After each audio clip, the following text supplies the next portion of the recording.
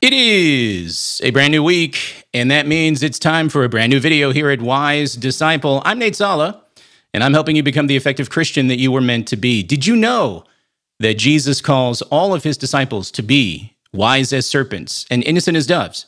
In Matthew chapter 10, 16, what does that mean in today's kind of culture? Thanks for asking. That's a great question. That's what this channel is all about, ladies and gentlemen. Uh, I've got a lot of series uh, in the can on the YouTube channel trying to help you along these lines. One of them is Debate Teacher Reacts, where I look at theology and apologetics debates and react to them as a former debate teacher. And that's what I think I'm doing tonight. Um, I just got back from uh, Dallas. Uh, actually, there were a series of events that I uh, was a part of that I put on as part of Summit Ministries, which um, which I also work for, and uh, I'm actually directly after this tomorrow heading to Atlanta for an event at Mount Bethel Church. So if any of you happen to be within a stone's throw of Mount Bethel, um, I'll be teaching Thursday morning at the church there, First Aid Evangelism. So I look forward to seeing you all down there. Well, I think the video tonight is a is it a I think it's a pastor reacts. It, maybe it'll be both. A debate teacher and a pastor. And so I'll be bringing both backgrounds into this discussion. Today's video is a discussion between um, Sean McDowell and Matthew Vines. They're going to wrestle with um, what exactly the Bible teaches about homosexuality. Now, this is absolutely live. So if I stutter, if I make mistakes, if I go slow, we're going to capture it all. So this is actually live. I thank you all for joining me. Um, now, McDowell is going to argue for the traditional Christian position on sex in marriage, and Vines is going to argue that the Bible is inclusive when it comes to same sex relationships. So uh, let's go ahead and tee up and let's see what happens. Should be interesting. Here we go. So, your first argument, which I talked about, is citing Matthew 7 that because of experience, we need to go back and reconsider Scripture. Where does Jesus teach that we are to evaluate biblical teaching based on experience? Bam! Okay, right out of the gate, Sean McDowell, bam, home run. That, is, ladies and gentlemen, that is what a question, right? And isn't that the $6 million question? You know, where in the Bible do you get this idea that experience is your Bible teacher? Shouldn't the Bible be your Bible teacher? Love it. That's that's a question that we all need to ask progressive Christians and those who are taken with the teachings of Matthew Vines. Let's see what he says. Oh, by the way, Matthew 7. Uh, so McDowell referenced this uh, right at the outset of the comments here. It's because Vines brings this up in his opening statement. So, again, as I've always encouraged with stuff like this, you got to watch the whole debate if you can. I'm going to uh, give a link to that in the notes after this live stream. Uh, Vines talks about how Jesus said that you will know false prophets by their fruit. But then he tried to suggest that this doesn't apply uh, to same sex couples because many of same sex couples display the fruits of the Spirit in Galatians 5. So, if they're displaying the fruits of the Spirit in Galatians 5, well, then they're not false prophets as Jesus explained them in Matthew 7. So, actually, now that we're spending all this time on Matthew 7, let's just go ahead and take a real quick look at Matthew chapter 7. Uh, let's see. So, for those of you, sometimes you ask me, Nate, what program are you running? I'm running Logos, uh, which I actually really, really enjoy. Um, yeah, Matthew chapter 7.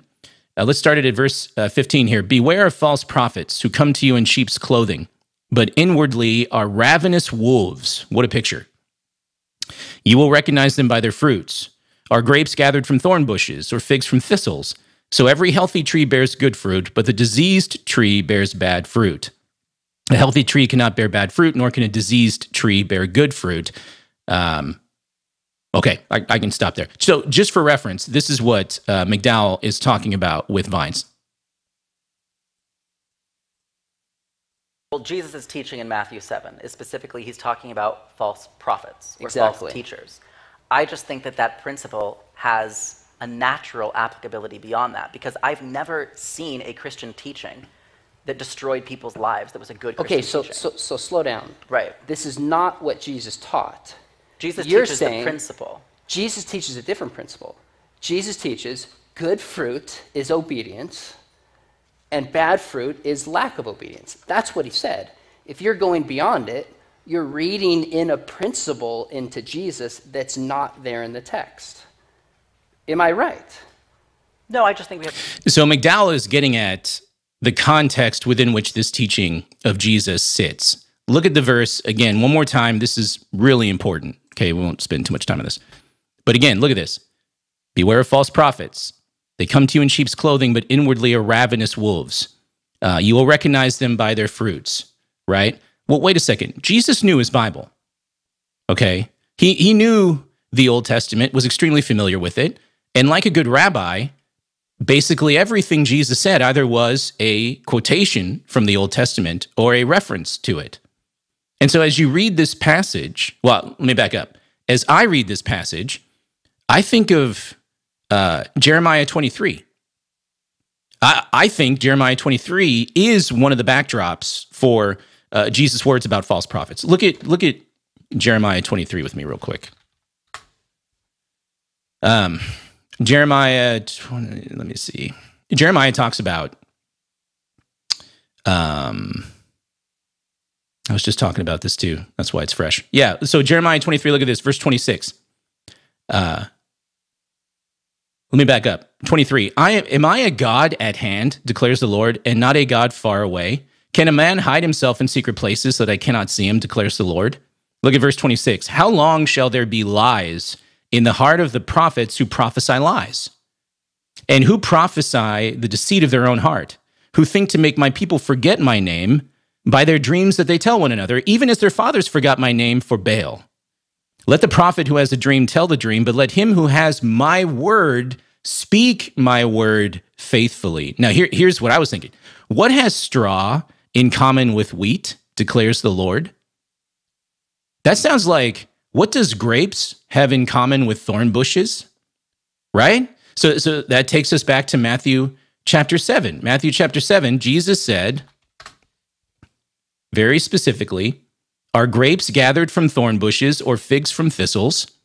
Right? So I think Jeremiah 23 is in the background of what Jesus is saying in Matthew chapter 7. But notice how how do we identify false prophets?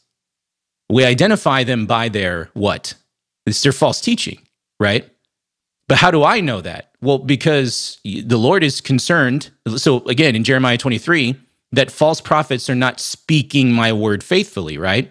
But by the way, we don't need Jeremiah 23 to understand this. Jesus goes on to say that one day, this is the scariest uh, uh, verse ever, you know, um, one day people will not know like they will they will proclaim his name but he will not know them look at this this is literally attached the next few verses verse 21 not everyone who says to me, Lord, Lord, will enter the kingdom of heaven, but the one who does the will of my Father who is in heaven. On that day, many will say to me, Lord, Lord, did we not prophesy in your name? So there it is again prophecy. Uh, and cast out demons in your name, and do many mighty works in your name, and then I will declare to them, I never knew you. Depart from me, you workers of lawlessness. So we see people prophesying in Jesus' name, but they are actually workers of lawlessness. So then, what is the fruit of a prophet? Right? Primarily, it's the consequences of what they teach. Right? If they if they prophesy or teach, and the consequence of that is that the church divides or many fall away, you know, they become lawless because of the teaching, they're a false prophet. By the way, that, that's exactly what uh, happened in Acts. Um, well, anyway, let's get back to the video. I'm, I'm, going on and on. A different interpretation of it. Okay, so why is my interpretation wrong then? Why is the interpretation saying you can evaluate teachings of Jesus based on somebody's experience? Why does the text say that I'm wrong in my interpretation? Because we both said we got to look at the words of Jesus. And I don't see him saying that. Matthew 7, Matthew 3, John 10. Where does the text say that? So describe to me again, refresh me on your argument here, about, so you're saying fruit, in your understanding of the text, is only about obedience and has nothing to do with what Galatians 5 calls the fruit of the Spirit? Uh, we can go to Galatians 5, but it's not just me. I have a ton of commentaries I pulled off. I couldn't find one that disagreed with me, not that I read all of them. So it's not my interpretation. The standard interpretation, when you look in the context, is Jesus saying, you can judge a prophet by its fruit. Good fruit is when the prophet's message causes somebody to turn and repent. Bad fruit is lawlessness. The verses after that say that. In fact, John the Baptist gives the exact same phrase in Matthew 3, verses 7 through 10, when he's saying he's speaking about repentance, and then he says, a good fruit leads to repentance. Mm-hmm. That's the clear context. So why yeah. am I wrong?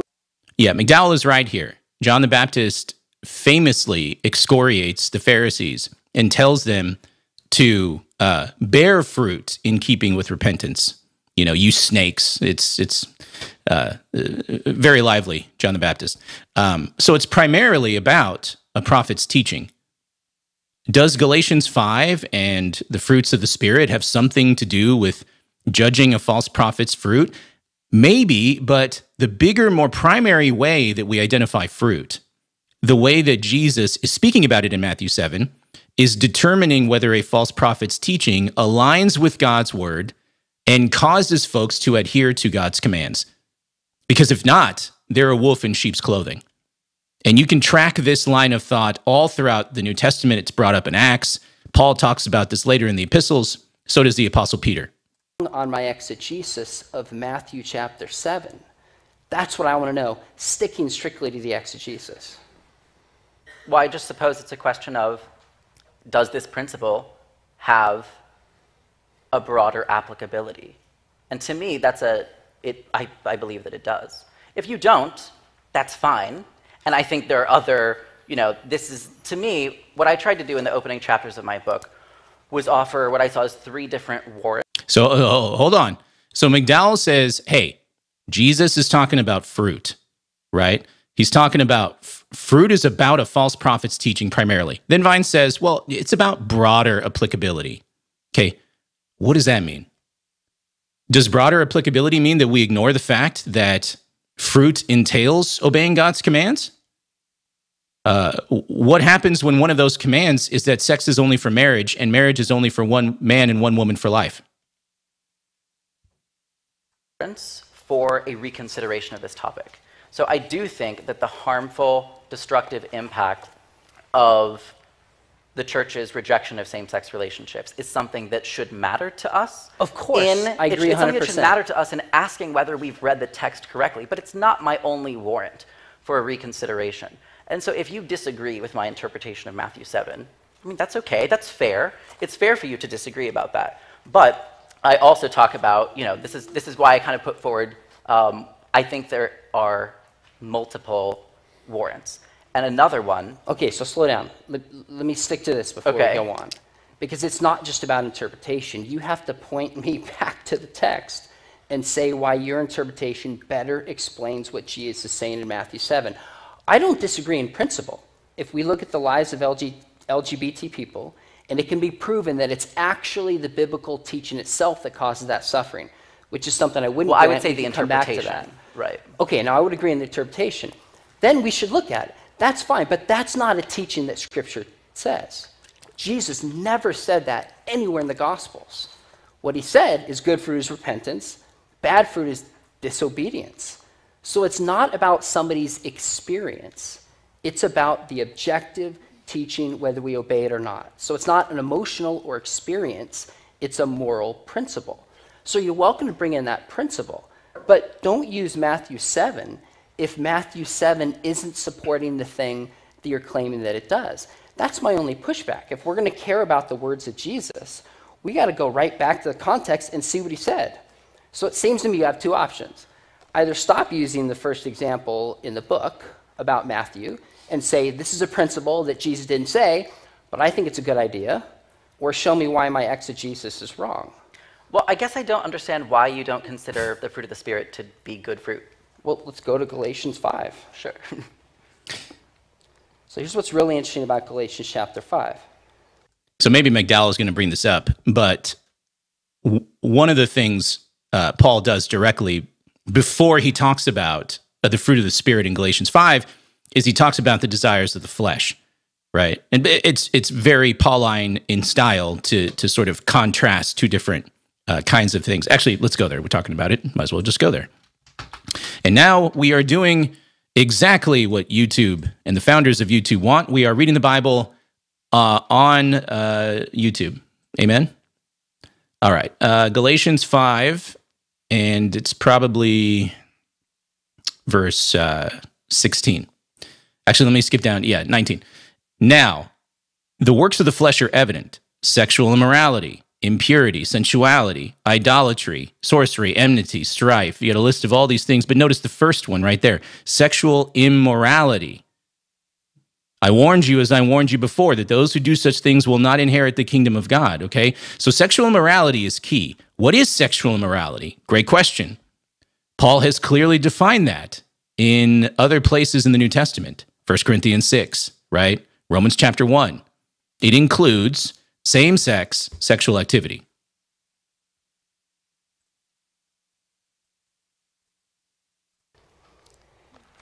Uh, where is this? Genesis, Exodus, Galatians.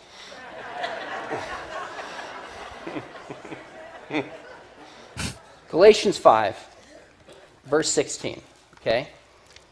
So, by the way, we've moved out of Matthew, we've moved out of the Gospels. We're now into Paul. So, not that it's not relevant, but in terms of exegesis, you start with the book itself, then you move to others like it, and then outside. So, we've gone far on the rung of exegesis, so to speak. If you read 516, it says, But I, I say, walk by the Spirit, you not gratify the desires of the flesh. 516. Mm-hmm. So, he's contrasting being filled with the Spirit mm-hmm. with the desires of the flesh. Skip down to verse 19. It says, Now the works of the flesh are evident sexual immorality, which is porneia which would have been understood as a variety of sexual sins, including divorce, it would have been fornication, and it would have included homosexual behavior, impurity, sensuality, etc. That's the verse right before. Through 21, envy, drunkenness, orgies. This is verse 22, contrasting this. But the fruit of the Spirit is love, joy, peace, patience, etc. And then 24 comes back to it. It says, And those who belong to Christ have crucified the flesh with its passions and desires. So, what is Paul saying? He's saying you have a choice to live in the Spirit or you have a choice to live in the flesh. If you are living in the flesh, which involves sexual immorality, then you are not filled with the Spirit. So, sure, somebody who's not a, a, a Christian or what else can have, or a same sex relationship, can have some of that kindness. I would never say that. I'm not saying that somebody in a same sex relationship doesn't have kindness or goodness within them. Please don't hear me saying that for a second. But Paul is saying if you're involved in sexual immorality, then by definition, you are not living filled by the Spirit. So even when we go outside of Matthew and we go to Galatians, it says the same thing that fruit of the Spirit is not somebody's experience, it's tied to obedience. Mm-hmm. Just if we stick to the text certainly love, joy, peace, patience, kindness, goodness, faithfulness, gentleness, and self control are all things that we do experience, right? You wouldn't know sure. joy if you didn't experience joy. So I don't think we can completely extract this from people's personal experiences, but also. So, right now, let me put on my debate teacher hat for a second. McDowell is killing it. You know, the more. Now, from what I understand, this is not a debate, this is supposed to be more of a discussion. But the more that I hear this exchange, um, so I'm, I'm glad it, I'm glad this is a pastor reacts right. Uh, but in terms of asking great leading questions and controlling the discussion and even framing, McDowell is just doing a great job. He wouldn't let Vines move on. He's slow down, slow down, right? he doesn't want to gloss over the exegesis. You know, this is how you do it. This is really great. Your point about sexual immorality is true, but it also kind of just gets back to our fundamental disagreement because I don't think that all same-sex relationships constitute sexual immorality. I, you're right. Exactly. That's and so that's why I would be interested in understanding more about like do you would you agree with me that the Bible does not talk about same-sex marriage specifically? Okay. So can I come back to that? Okay. Before we leave, we, we leave the text. I'm not dismissing the question. I think That I have is the first, textual question. I think I have the first 20 and then you have the last 20, right? Isn't that how Yeah, it that's works? fine. You can do it that Technically, way is that how want. it's supposed to be? Wait, who has what? Well, we didn't we didn't divide it that oh, way. Oh, I thought we did. I'm sorry. All right. No. Never mind. Okay, on, on this text, let me just push back, then we'll come to your Okay. question. I was like, you don't want to answer my questions, Sean. No, I. Not too quickly, okay? Okay. Yes, people experience love, joy, peace, and patience. I grant that. I would grant that people who are non Christians can experience some of those things. Just because somebody has some of those characteristics doesn't mean that person is filled with the Spirit. Yes. So if we flip back and look at this, what Paul distinctly says, if you're engaged in sexual immorality, then that means you're not filled with the Spirit. Yes. So that seems to undermine this idea of judging a tree by its fruit with somebody's experience. If they're in disobedience, that's a bad root, which results in bad fruit. I'm not going to rap, which means the tree itself. Is that sorry, a song? fruit and root. Okay. Oh, okay. Okay, so I lost. Sorry. Do you, do you see the point? Wow. Yes, I just think you're kind of presupposing something that is a matter of disagreement, which is I don't think that being in a same sex relationship in and of itself represents disobedience. You do, mm. and so that's how, why you interpret it that way, but I don't. And so I think you're asking me to kind of follow a logic at a point where I can no longer follow it. And so that's why I think we actually, we eventually we have to come back to talk more just specifically about same-sex relationships and the biblical text. Okay, so we yeah. can go. So Vines is wrong about his view of same-sex relationships and ho- and what the Bible teaches, but in terms of being a debate opponent on stage, he's managing himself and the conversation well. If his interpretation of Scripture was true, it's not. Um, this is how you would frame the disagreement. This is how you would manage the pushback from McDowell, what Vines is doing right now.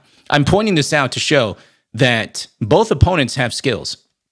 I don't know if they're evenly matched, but both um, they're both they're uh, they're they're they're bringing they're bringing their chops. back and we can talk about that. We can bring it in. But the question you would at least have to concede that the Bible doesn't teach. You evaluate something by its experience in somebody's life. It's repentance or non repentance. Because it seems like we've taken a road, and what we disagree over is whether or not sexual immorality includes monogamous same sex relationships. Okay, we have to establish that that's not what's in mm-hmm. view. Okay, but to get there, you've kind of agreed with me that Matthew actually is teaching that obedience is bad fruit. Right? Oh, you just, you just don't think. disobedience certainly is bad fruit. We just have a different opinion about what constitutes disobedience with this topic. Okay, then. Then you need to get rid of this example in your book because you just conceded my point. I, You see the point that. I'm not fruit- tracking with you. Okay, look, if the point in your book that you use, example number one, is that bad fruit is leading distinctly to unrepentance, okay? It's not somebody's experience read back into the text. Bad fruit is what leads to unrepentance and disobedience. Correct. Are you with me? Are you with me? The bad fruit is what leads to disobedience. Because you just said sexual immorality is not disobedience. I mean, I, I certainly agree with you about disobedience being bad fruit.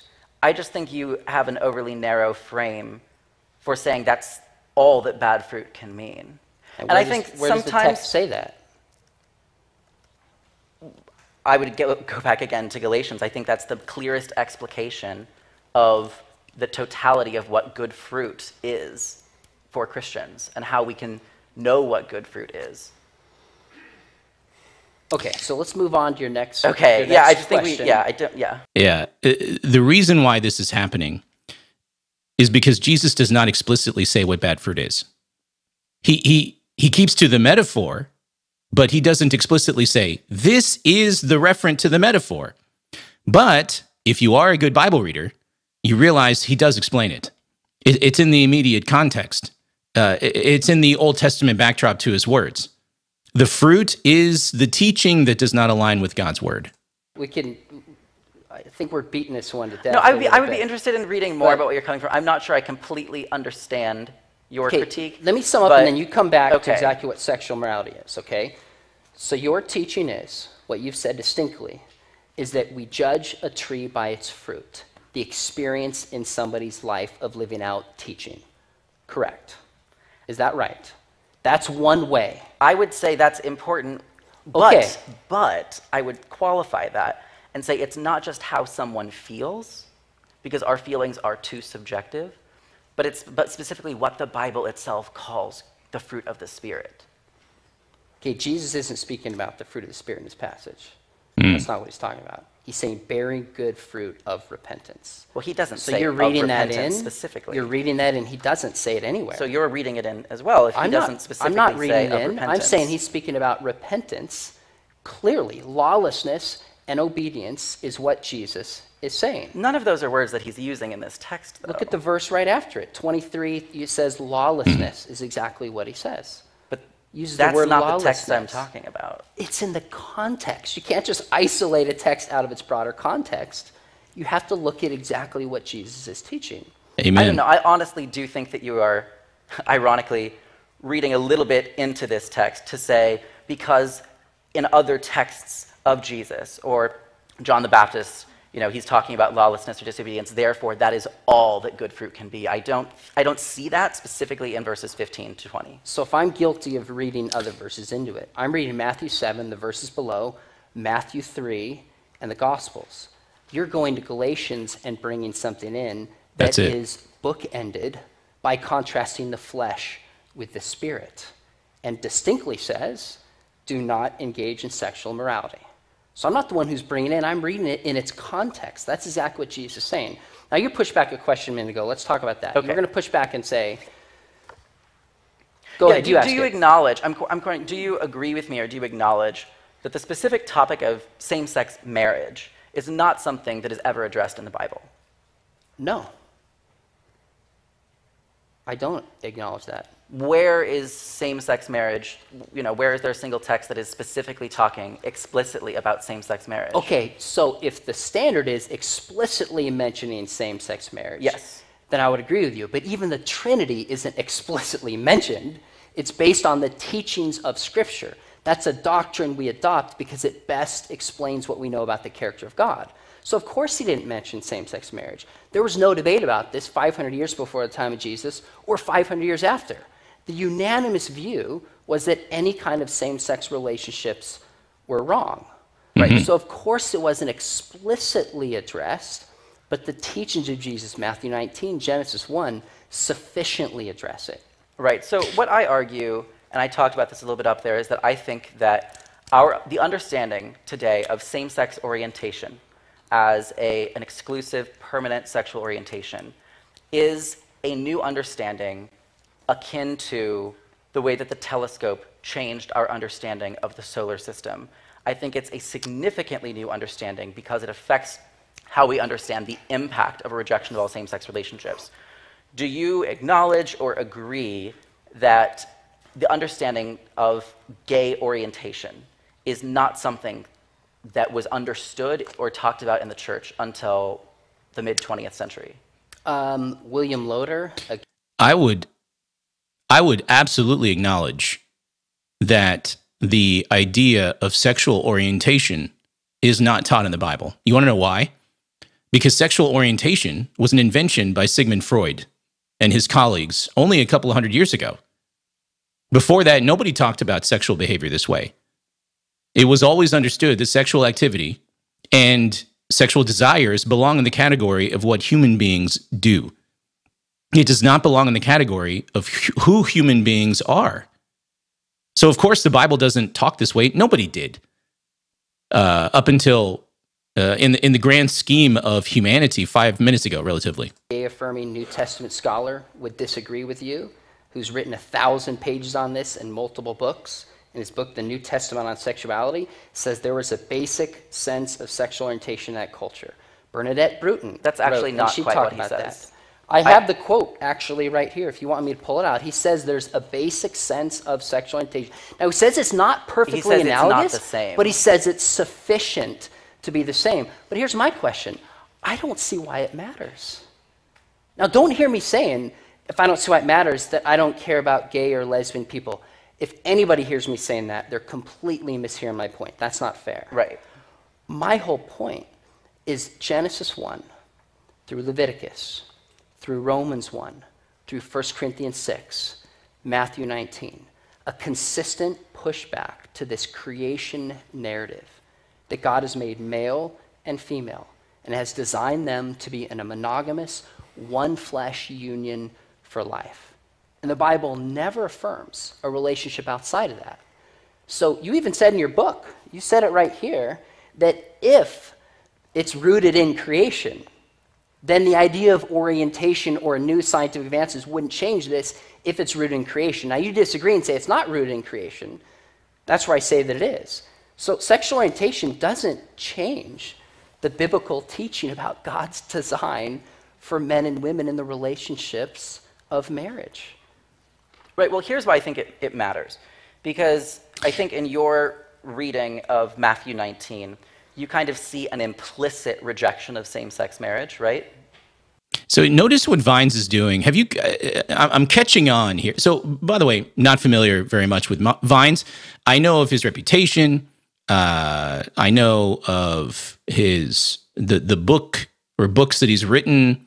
Uh, and, and, he came to the fore. This de- debate or discussion, whatever you want to call it, is five years old. So he came to the fore um, a while ago but I'm I'm not you know I, I I've never seen him speak before this. Um, I'm not too too familiar with him, so it's it's dawning on me what he's doing. What he's doing is in terms of having a discussion, is he's not engaging the text.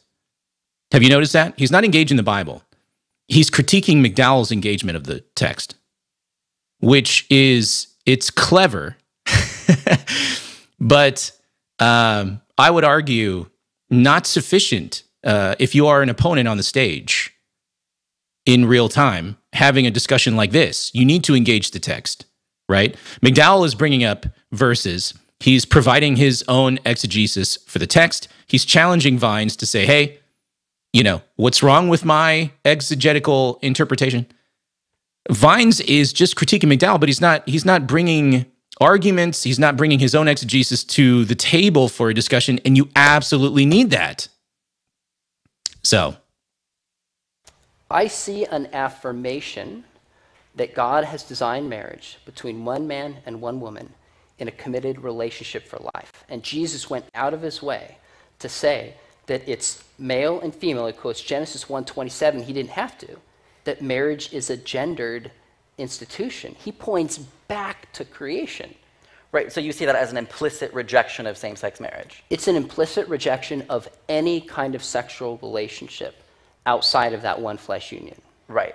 So the reason that I think it's important to, under, to acknowledge or understand that what we're talking about does differ significantly from what the church had been talking about prior to very recent generations is because I think ultimately it's anachronistic to say, what does the Bible say about same sex marriage? Well, we'll go back to Matthew 19, and because Jesus says God created the male and female, therefore he's kind of implicitly saying no to gay marriage. I think that's asking, I think that's trying to import a context that is alien to that text. And yes, I would agree with you. It is true. Marriage in the Bible is only ever talked about as heterosexual. In the New Testament, it becomes exclusively monogamous. The question that I raise is we're talking about something that the Bible did not explicitly discuss. And so I think we have to look to the deeper principles of Scripture's teachings on marriage and sexuality to ask whether there can be space, faithful space, for committed, monogamous, covenantal, same sex relationships in, that is consistent with the core principles of Scripture's teachings on marriage and sexuality or not. And the alternative. So I agree with Vines here let's focus on the fundamental principles taught in Scripture of sexuality and marriage. And let's extrapolate from those principles to our current 21st century situation where same sex attracted people are getting married in monogamous relationships.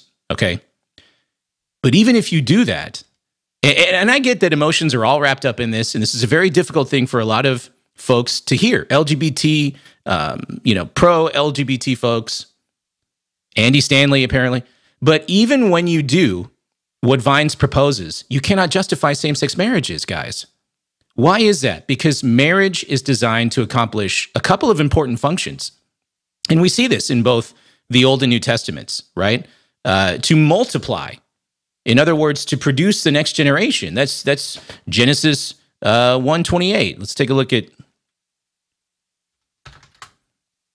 Genesis 128 here. And God blessed them. And God said to them, Be fruitful and multiply, and fill the earth and subdue it, and have dominion over the fish of the sea, and over the birds of the heavens, over every living thing that moves on the earth. Uh, it, it, it's also supposed to reflect Christ's relationship to the church.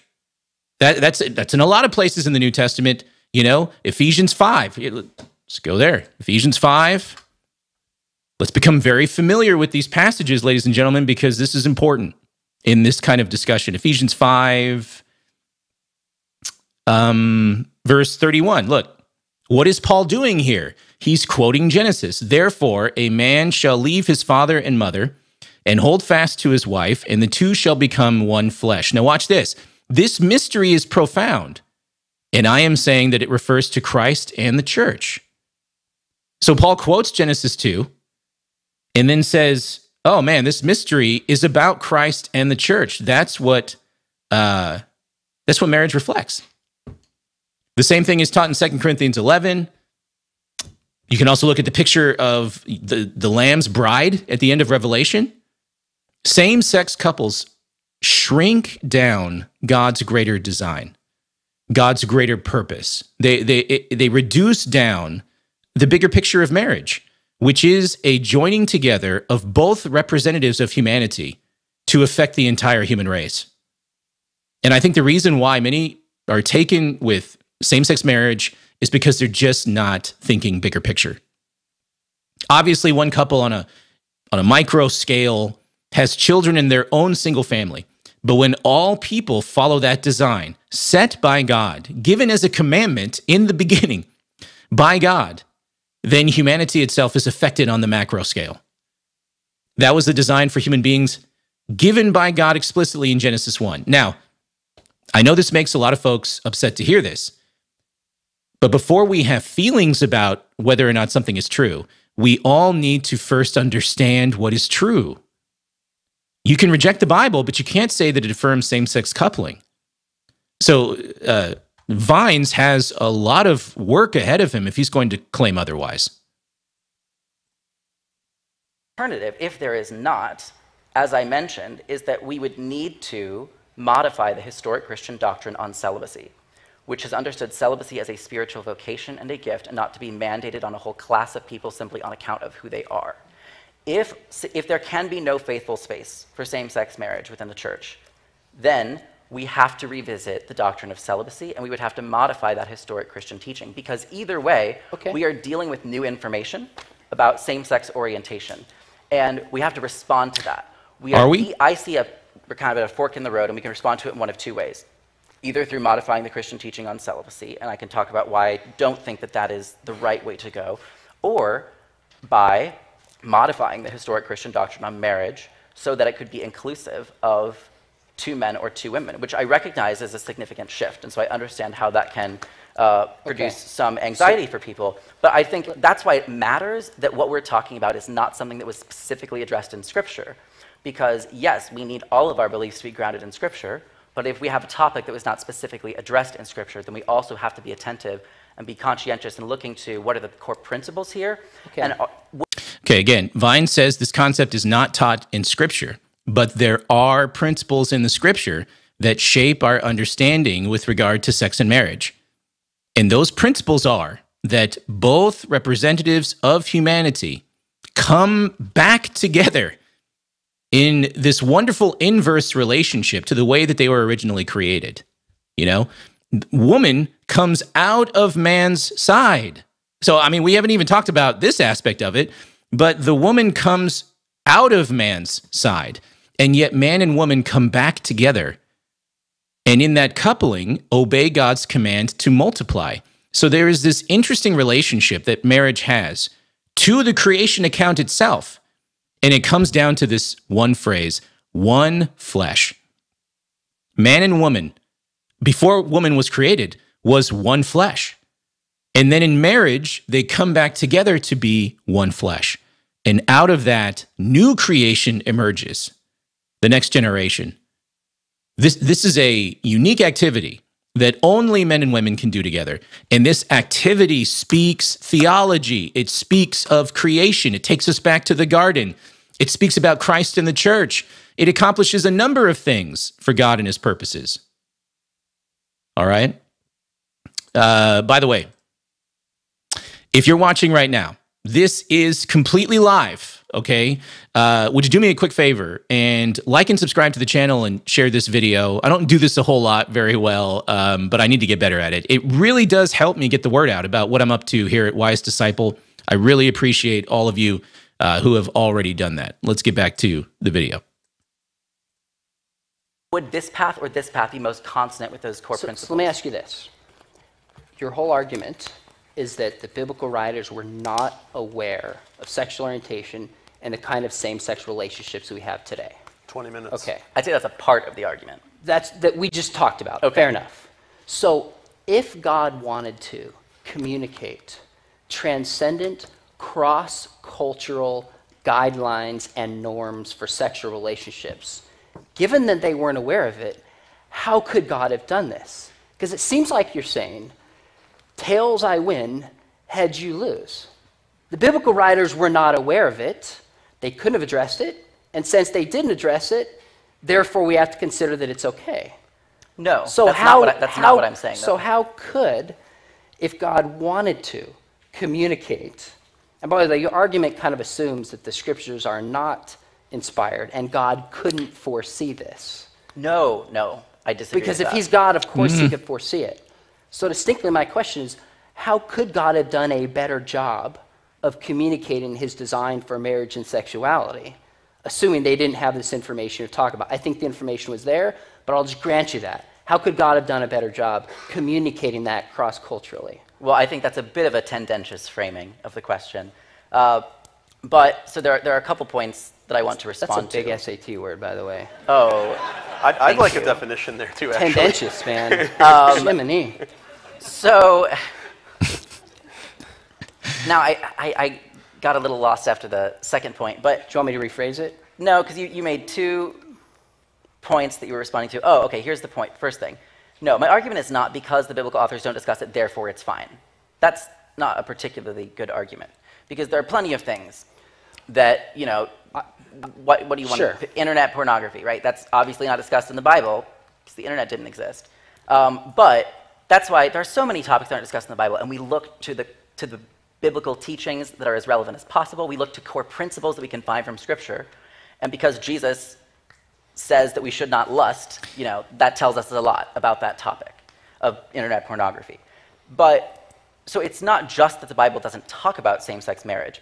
It's that I think that the core principles of the biblical teaching on marriage, as we find in Jesus is teaching in Matthew 19, yes, of course the framing is heterosexual because same-sex marriage was not even on the radar screen of possibilities here. The conversation around gay people, gay Christians, that So, what McDowell is not doing at the moment, which I wish he would, is asking Vines a very important question. Okay, you say that the principles for same sex marriage are in the scripture. Okay, let's walk through those biblical passages together. So, you can exegete those texts for us and identify those principles. Now, where should we turn to first? Right? Then you force your opponent to either come up with some biblical passages or not. Notice again, Vines, he just wants to stay in the abstract.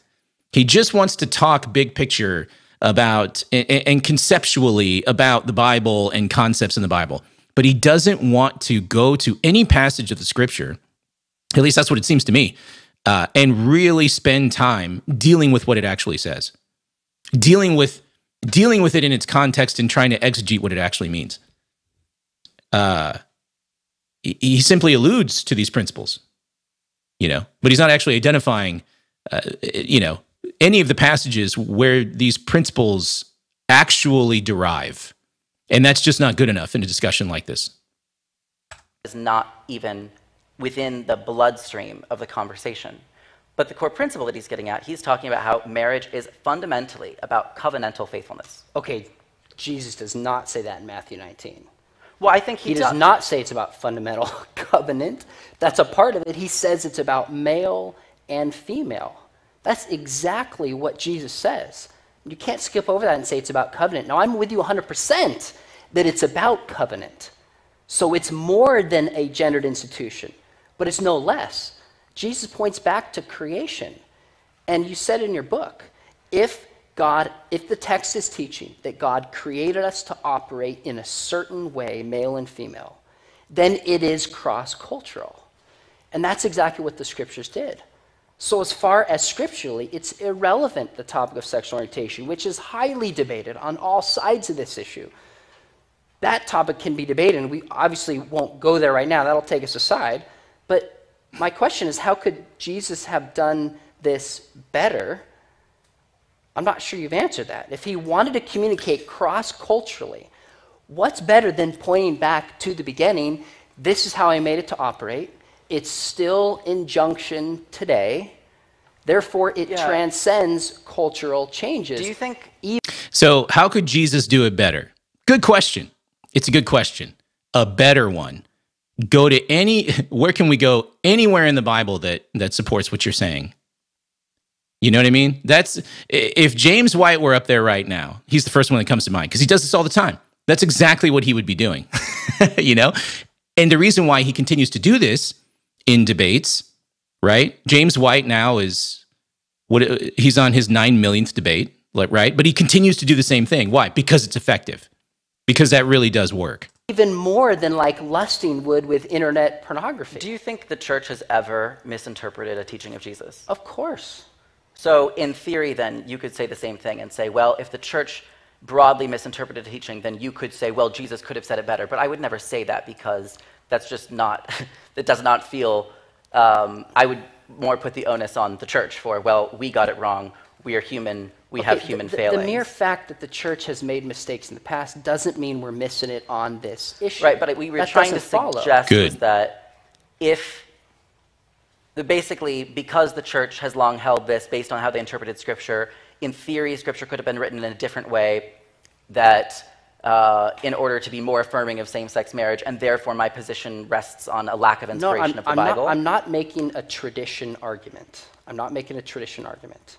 Well, I'm saying let's look at Matthew 19. right, but can you explain And I- again why you think that my argument rests on a lack of inspiration of the Bible? No, that point was simply you, you were saying they weren't aware of sexual orientation at that time. But I'm saying if God wants to communicate something cross culturally, he knew that this was coming in the future and could know that and address it and isn't bound by some scientific finding That of the is, day. that is true. But if that's how God wanted to work, then the church would never have gotten anything significant wrong. Because in theory, take an issue like slavery. It is understandable. It is awful, but it is understandable how pro slavery Christians interpreted the Bible to support their position in defense of slavery. In theory, you could say, well, you know, Jesus never outright condemns slavery. He talks about slaves and some parables, he never outright condemns it. Now, I think everyone in this room would agree about what Jesus' position on slavery would be. This is not a contentious issue today, fortunately. But if you go back 200 years, 150 years, it, oh, that's right. Uh, if you go back 150 years, though, it's an incredibly controversial issue. And you could make the very same argument. A pro slavery Christian could say, well, if Jesus was really against slavery, why didn't he condemn it? He had the chance. So I can't, it's, you know, it's not up to me. I don't know exactly how God always intends to operate. That's beyond my pay grade. But It's ironic that Vines brings up slavery when the principles of anti slavery are in the Bible. it's the same thing, man. It's, it's this, it's, uh, the principles of it. Like, how did the abolitionists actually argue anyway? Where did they go for their justification to oppose slavery in the first place? It was the Bible. I mean, hello, the principles of anti-slavery were in the scripture. It's the, it's the same thing as this discussion right now. But I do know that this has happened before and that the church has gotten things wrong. Broadly, the church has gotten teachings of Jesus wrong. And I think Yeah, but how would we know that we were wrong in the past about a teaching of Jesus? How could someone show us that we were wrong? By going to the scripture and making an argument, right? And by the way, Vine's not doing that. So far in this discussion, he's pointing out that the church has been wrong before, but not proving it in this particular instance. We have to be open to that possibility without saying Okay, now I'm therefore. open to it. Without saying therefore, the Bible is not inspired. That, so that's not my argument. That's not my argument. If you read the 2003 book, Princeton University Press, by Rodney Stark, the definitive work on slavery, he says it didn't start in the 19th century, anti slavery movement. Back in the early church, people were resisting and making arguments against slavery. It goes back to Aquinas and earlier in the Middle Ages. Although Aquinas was actually pro slavery, but just with certain conditions. no, Rodney, Rodney Stark, I think, is right about this, about Aquinas critiquing it. His whole point is. He critiqued is forms of slavery, but he did not condemn slavery categorically. In fact, there was no he Catholic made pope, critiques distinctly of slavery. but of It- forms of it. It was Listen, there was no the Catholic. point is what Stark argues is that there's been a consistent voice, theologically based, condemning slavery. It's just that people didn't listen to him. That's totally different. I agree that some people were wrong and manipulated the scriptures to justify how they wanted to enslave people. but not Of even intentionally manipulated. I think some people sincerely believed Whether it. they believed it or not, they were mistaken. We can talk about when people were right or wrong about slavery and other issues. Fine, I can see people can be wrong about that. But here we're talking about Matthew 19. Jesus points back to the creation. He affirms God made them male and female. He affirms the Genesis account that one man and one woman in a committed relationship for life is normative. So the possibility that we've been wrong on other issues has nothing to do with us being wrong on this one. You've got to show me distinctly in the text why I'm wrong and why I think Jesus' view is wrong. That's right. That's the question. Where in Matthew 19 am I missing it? Okay, I think the difference is I read his statement at the beginning of Matthew about God made them male and female as part of the framing and how he is framing his response. It's a non answer. He's not answering the question. Um, by the way, I would love to see Vines ask McDowell more questions. I think McDowell is largely controlling this period of questioning. You know, just from a debate perspective, I think Vines should be asking more questions. But still, I mean, McDowell, he's he's asked Vines repeatedly, over and over and over again. Let's go to the text. Let's go to the text, and Vines won't do it. responsive question. At the end, you know, so the- Jesus, and there are varying interpretations on this, but I think in general, many people interpret it to say that Jesus makes at least one exception for divorce in the case of infidelity. But he does not make an exception in the case of infertility, which is actually really interesting and countercultural in his context, in which many people would have seen if a woman, and of course they always sort of blame the woman, even if it wasn't, um, if, if that wasn't fair, that if the woman was unable to get pregnant, then of course the man should be able to discard her and try again, because it's all about having heirs, that sort of thing, and that's not Jesus' view of marriage. So that's why I was saying I think Jesus elevates the covenantal commitment foundation of marriage above, for instance, the ability to procreate. So that was, that was my initial 10 minutes. point.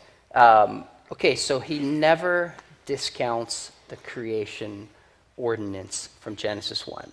I agree with you that in the Old Testament, the building of God's people was through procreation. You write this in your book. Right. Gets to the New Testament, now the family of God is understood differently. right. But Jesus still keeps marriage as an institution, even in the church age, which is why I quoted Luke 20, 33 through 34, when he says, When we die, we will no longer need marriage because we'll live forever. We won't need to procreate. So the institution of marriage is gone.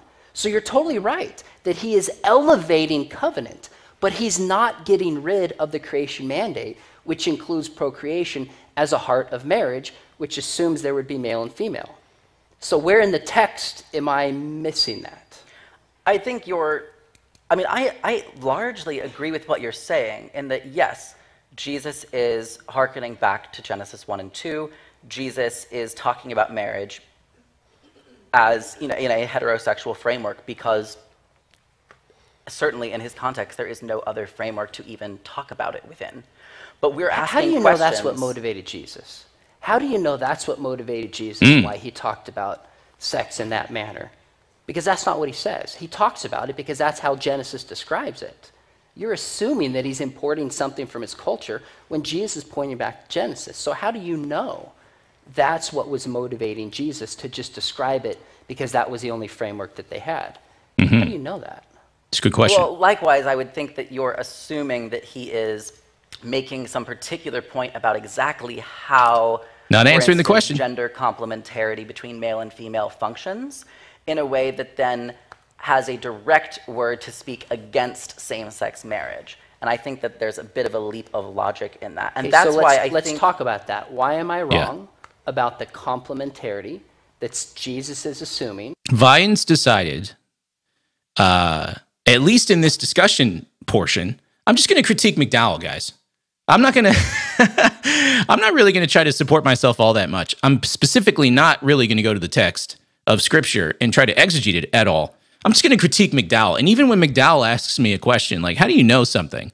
I'll just flip it around and critique him. And, and that's how I'll get through this discussion segment. based on Genesis. Tell me why I'm wrong, scripturally speaking, that Jesus doesn't assume complementarity. Yeah, I think I meant something a little bit different by that. What I mean is that people will often argue that men and women are complementary in a unique way that means that marriage can only be between men and women.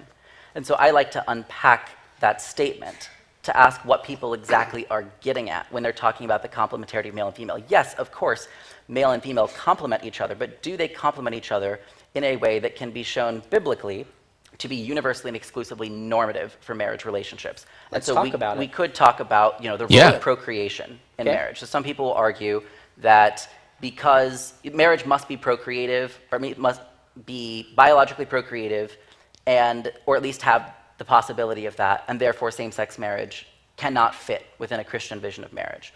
Whereas I would look at that and say, even in the Old Testament, when procreation was of paramount importance to how God was building his kingdom people, you have marriages that are infertile, like between Hannah and Elkanah, or between Abraham and Sarah, that are not regarded as invalid on that basis.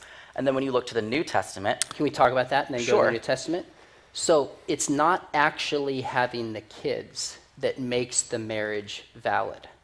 It's the kind of union, the one flesh union, that takes a man and a woman that by its nature is oriented towards procreation. So right. they're infertile. but see, that's an assumption. Infer- it's, not, an- it's not an assumption. It is an assumption. It's, it's taught in the text. Infertility is the lack of something that is supposed to be there. So a chair's not infertile because it's not the kind of thing that can reproduce. A man and woman in a marriage are infertile because something's broken and not operating the way that it is supposed to. But if a man and woman come together, as it says in Genesis 1 and then Genesis 2, have this permanent leave the father and mother, cling to the spouse, and then create their own household, which is oriented towards having kids. You see that pattern there. Mm-hmm. Even if the kids don't result, it's the kind of union that makes it a one flesh union. So it's not actually the kid that makes it a valid marriage. So I agree with you about Elkanah and the other example. But that doesn't undermine the one flesh union as being necessary for marriage. That's what Genesis teaches in the first two chapters yes, of the Bible. I think marriage. And what's missing from this conversation is how God intervenes miraculously to provide the children they desire. Sarah was the other example. You know, Abraham and Sarah are incredibly old. They could not produce children, and yet they were given a promise by God that they would have offspring. And God gives them Isaac, right? The child of promise. But what are we to conclude from this if we adopt Vines' point of view that Abraham and Sarah did not have a valid marriage because they couldn't produce children? Or that they did have a valid marriage even though they couldn't have children because of the covenant? That's not what the Genesis account is teaching at all. It's teaching a completely different lesson about God's promises tied through a promised child. As a matter of fact, producing children is tied to God's redemptive plan for all of humanity. You can take a look at Genesis chapter 3, right? It is through Eve's offspring that the one will come to crush the head of the serpent. So, producing the next generation plays a vital role in the coming of Christ. And again, now on the other side of the resurrection, marriage reflects Christ's relationship to the church. The bottom line is infertility is not a feature of the design.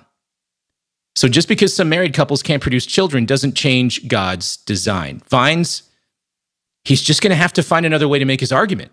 Marriage does involve a one flesh union in a unique way as compared to other relationships.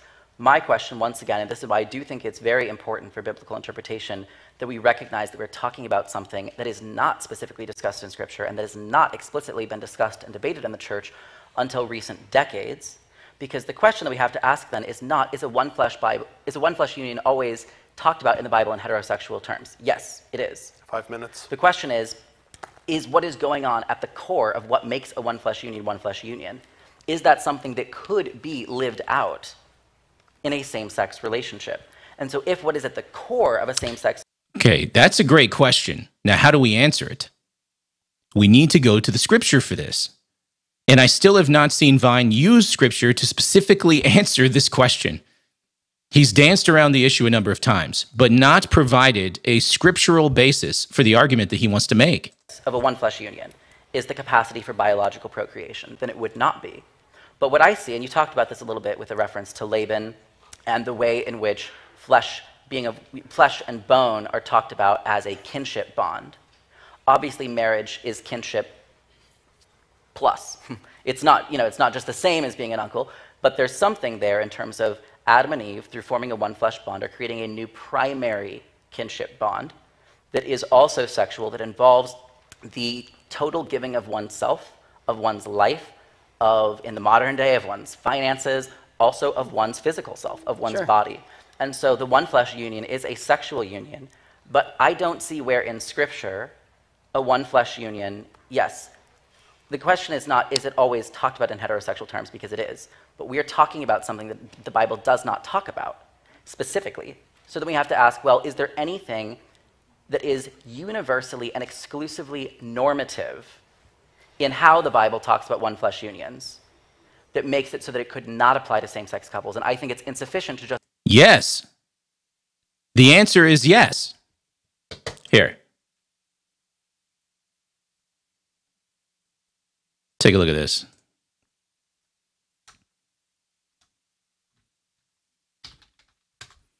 Genesis chapter 2, verse 18. Or not 18, excuse me. Um, let's take a look at uh, the Lord creating uh, Eve. Watch this. Um, Adam, verse 20. Adam, for Adam, there was not found a helper fit for him. So the Lord God caused a deep sleep to fall upon the man, and while he slept, took one of his ribs and closed up its place with flesh. And the rib that the Lord God had taken from the man, he made into a woman, and he brought her to the man. Okay, stop. The unique creation of woman shows us that what God has intended was for men and women to be together in relationship. It starts with the word helper. Actually, it's back up here in 18. So I, I guess I was right. Uh, helper, you know, the Lord God says it's not good that the man should be alone. I will make a helper fit for him. There is no helper. So God takes one of the man's ribs and creates a woman with it. Guys, the symbolic imagery is off the charts with that. It's meant to show that men and women were created to be together. They were made for each other. The woman was made out of a man's own body. Even the nature of the, you know, the, the Hebrew words, right, for man and woman, ish and isha. The relationship of men and women together is even seen in the language itself. But then the question is, what is the telos? How are men and women to be in relationship with each other? And the answer is marriage. Look at this, verse 23. Then the man said, This at last is bone of my bones and flesh of my flesh. She shall be called woman because she was taken out of man. Therefore, it's all connected. Therefore, a man shall leave his father and his mother and hold fast to his wife, and they shall become one flesh. The therefore is the culmination of the entire story of the creation of woman. The terminus of the idea of why a woman was created in the unique way that she was created is this therefore a man shall leave his father and mother and his and he will become one flesh with his wife this is the definition of as well as an explanation for marriage for the human beings that god has created Does that mean everybody gets married? No. Does that mean everyone has children? No. But this right here is the design for humankind. And Vines is trying to tell us, well, the Bible doesn't give us any indication that men and women in marriage is normative. Of course it does. And, and what it's going to take is more than denying what the Bible teaches. Vines is actually going to have to explain how Genesis 2, at like probably 18, going all the way down to verse 25, is not normative for all mankind, right? Therefore, a man shall leave his, fa- his father and his mother. This is typical for all men. Um, as a matter of fact, I think McDowell should be asking this question. You know, how is this not? Can you prove that this is not normative for people? Let's find out what happens. Say, well, it never applies to same-sex couples because, of course, it doesn't. We're talking about something the Bible wasn't talking about. So I, I would need to see something going beyond just saying, well, it always, you know, it never actually applies it to them. Well, what's the reason why we could not faithfully make that okay, application? So two questions you're right, where it says in 224, where it says, bone of my bone and flesh of my flesh, can refer to David and the people of Israel or others. But then in the text, it says, this is in 223, this is at last bone of my bone and flesh of my flesh. She shall be called woman because she was taken out of man. Therefore, there's a transition. And it moves specifically a man leaves his father and mother, holds fast to his wife, and they shall become one flesh. There it is. Yeah. So there's a difference between being of the same flesh and being one flesh. Now, does this text explicitly describe the anatomical parts? Of course not. And but actually, no biblical here's text why. does. Two minutes. It doesn't have to. It's obvious, Matthew. It's obvious. If you read the text, it's clear that a man and a woman line them up together there's a certain fitting that takes place that doesn't with the same gender. I think it's that, not possible. Yeah, I think that that argument, and especially, let me finish, and especially when it's in the context of a mother and a father populating and filling the earth, when the term is kenegdo, which is his opposite, the text is clear. It's clear. Not to mention, Romans 1 says they exchanged function which chresis in the Greek refers specifically to function that somebody was designed for. It's in the text. Yeah. You have to read something I would just say, though, I think, it. I think that that argument is.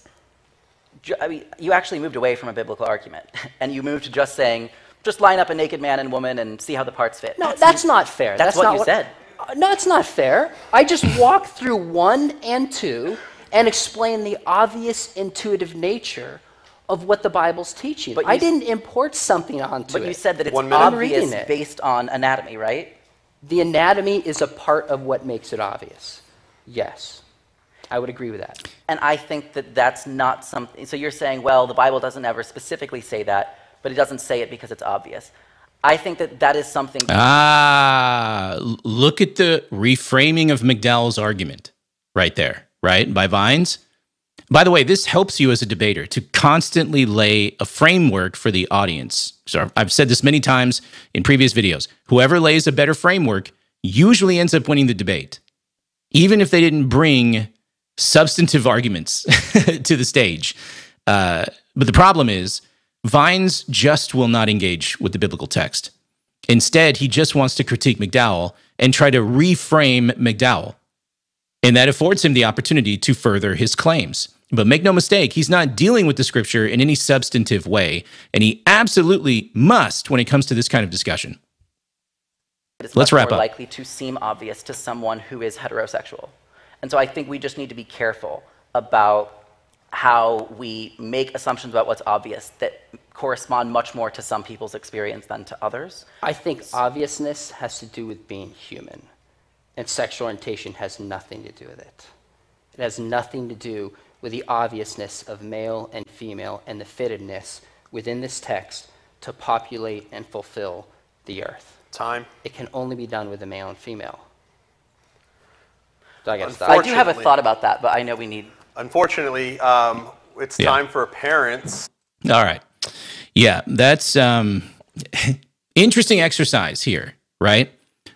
as a Christian who takes the Bible seriously and has studied it, specifically as a pastor and a Bible teacher. And I was hoping to see a lot more effort from Vines in engaging with what the Bible actually says.